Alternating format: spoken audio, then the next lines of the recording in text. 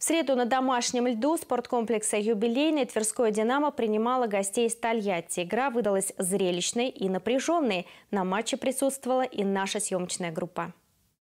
К середине первого периода динамовцы пропустили от «Лады» две шайбы. Первым отличился Игорь Угольников, затем Артем Артемов. Между голами Михаил Бецадзе бросал из убойной позиции, но «Ладу» выручил Александр Скрынник. Бело-голубые сократили отставание в счете после индивидуального прохода через всю площадку Ивана Иванова, в завершении которого лучший снайпер Тверской команды неотразимо бросил в дальнюю девятку. До перерыва был еще один момент, всколыхнувший трибуны юбилейного, но видеопросмотр эпизода показал арбитр арбитром, что шайба не пересекла ленточку тольяттинских ворот. В раздевалку «Динамовцы» отправились в роли догоняющих 1-2.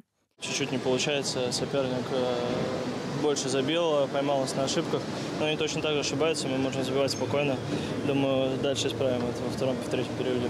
Первое удаление в матче заработали гости, но динамовцы не смогли реализовать численное преимущество. Сразу после этого на скамейку штрафников отправился капитан «Динамо». Две минуты Романа Кобелева вместили в себя два гола. Сначала вернувшийся в Тверь из командировки в КХЛ Семен Панкратов сравнял счет, реализовав выход 1 в 0. А за три секунды до выхода на лед оштрафованного динамовца Лада использовала большинство за авторством Евгения Грошева. Не прошло и минуты, как гости снова забили. Дубль оформил Угольников. За четыре с половиной минуты до промежуточной сирены Олег Зайцев перехватил шайбу в зоне тольяттинцев и сходу выстрелил поворотом 3-4. Под занавес периода динамовцы получили большинство, и Марк Верба идеальным пасом из-за ворот нашел Георгия Бусарова, который сравнял счет 4-4. Это были ошибки защитников и игроков нападающих. Но это нетипичная ситуация для Лада, вероятнее всего. Что произошло с э, линией защиты?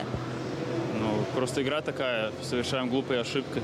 Ничего такого сверхъестественного не происходит. Заключительная 20-минутка прошла под диктовку «Динамо». Вдохновленные двойным камбэком, подопечные Сергея Орешкина работали на максимуме своих возможностей. Однако заменивший скрынника в воротах Лады Сергей Коробов был стопроцентно надежен. В конце гости получили численное преимущество, но счет остался ничейным. Овертайм победителей не выявил. Первый послематчевый булит хозяев стал голом Семена Панкратова. Кроме него, никто из динамовцев не смог реализовать свою попытку, а гости из Тольятти дважды переиграли Георгия Кузнецова.